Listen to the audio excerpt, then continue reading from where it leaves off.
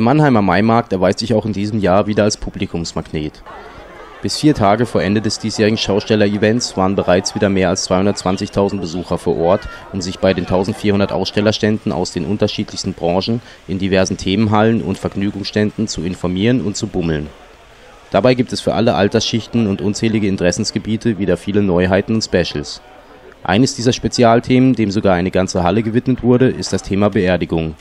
In den letzten Jahren haben sich hier neue Trends entwickelt, zum Beispiel die Waldbestattung. Das ist eine alternative Form. Man hat eine neue Auswahlmöglichkeit ergänzend. Es ist eine Bestattung in der Natur, unter den Bäumen im Wald, mit einer Urne, die biologisch abbaubar ist. Man hat also so Namenstafeln, die werden an den Baum gehängt. Und darüber ist dann die Persönlichkeit äh, identifiziert, sprich man hat die Namensnennung am Baum und es kommt auch noch eine Baumnummer an den Baum. Diese beiden Anbringungen sind wegabgewandt nach innen am Baum dann zu finden. Auch bei der Grabgärtnerei setzt man immer mehr auf kunstvolle Arrangements statt schlichter Bepflanzung. Gärtner Bernd Stelzer stellt in der Themenhalle diverse kunstvoll bepflanzte Beispielgräber aus. Also wir haben jetzt hier zum Beispiel mal vier Gräber angelegt, der Jahreszeit entsprechend. Einmal hier ein Frühlingsbeet, dann hier ein Sommerbeet, da vorne ein Herbstbeet und dann nochmal winterliche Abdeckung obwohl das jetzt eigentlich schon vorbei ist, äh, oder das kommt erst, das ist schon vorbei, haben wir es trotzdem so hingekriegt, dass wir mal die vier Jahreszeiten hier zeigen können.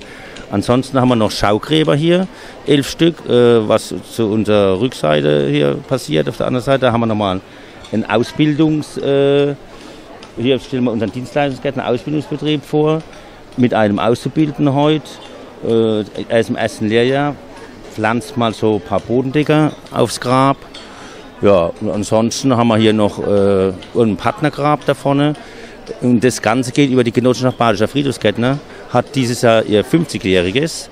Und äh, dann wird hier beraten über Dauergrabpflege, über normale Grabpflege und auch über die verschiedenen Bodendicker, was wir hier äh, zeigen und ausstellen. Was natürlich nicht fehlen darf, ist ein passender Grabstein. Hierum kümmert sich zum Beispiel Stefan Safferling.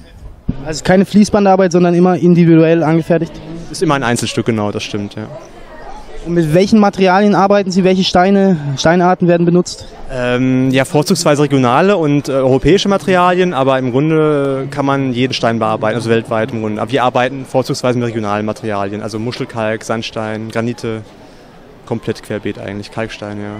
Machen wir wirklich also eher vielleicht ein bisschen schlichtere Formen, aber wenn jemand was Filigraneres möchte, dann machen wir auch was Filigraneres. Also das ist wirklich querbeet, wir sind ganz breit aufgestellt. Zu Lebzeiten ein großer Fußballfan, warum nicht in einer Fußballurne bestatten lassen? Hierzu Liane Kaspar von der Bestattungsfirma Bühn. Ähm, die Fußballurnen, ähm, das ist die Idee, es gibt sie, die ähm, Urnenhersteller bieten sie mit an, man kann sie mit Logo erwerben ähm, und wir haben jetzt die Fußballweltmeisterschaft in Brasilien einfach zum Aufhänger genommen, mal eine andere Form der Urnen darzustellen und ähm, den Leuten näher zu bringen. Auch für echte Tierfreunde wachsen die Möglichkeiten, dem eigenen Haustier auch nach dem Ableben nahe zu bleiben. Im Gegensatz zum Menschen darf man die Urnen kremierter Haustiere nämlich zu Hause aufbewahren. Tino Troncone vom Kleintierkrematorium Rosengarten hierzu. Wenn ein Tier verstirbt, dann ist es immer eine schlimme Angelegenheit, da Tiere, Hunde, Katzen mittlerweile Familienmitglieder sind. Ähm, und es ist dann eine schlimme Angelegenheit. Und wir betreuen die Leute dann ähm, durch ihre Trauer hindurch, zeigen ihnen auf den Weg, den sie finden können für sich, durch die Trauer zu gehen. Und wir holen die Tiere ab, zum Beispiel auch von zu Hause oder vom Tierarzt. Und äh, wir sind ein Krematorium. Äh, das Schöne ist, dass man dann in Form einer Urne äh, seinen Liebling wieder zurück nach Hause bekommen kann. Man, das Schöne ist, man kann im Prinzip damit machen, was man möchte. Nach Hause holen in Form einer schönen Urne. Da gibt es dann auch eine schöne Auswahl. Es gibt sogar kleine Medaillons, wo man einen kleinen Teil der Asche, hier unten, einen kleinen Teil der Asche bei sich dann tragen kann. Nachdem man sich über dieses eher unheitere Thema informiert hat, sollte man wieder auf andere Gedanken kommen. Warum also nicht einen Abstecher in die Spielhalle machen? Hier können sich vor allem junge Menschen beim Torbandschießen, an Mal- und Spielecken oder beim Stöbern an den Spielzeugständen auf andere Gedanken bringen.